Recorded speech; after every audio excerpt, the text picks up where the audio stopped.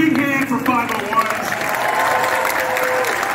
The 501st Garrison do things that no one else does, and I want to thank each and every one of you collectively uh, and individually for the work that you do. They are a delight to be with and to have in our world. They bring uh, order to this chaotic universe. Thank you so much. Great to have you. Wow, you've been battled too? Wow, very good.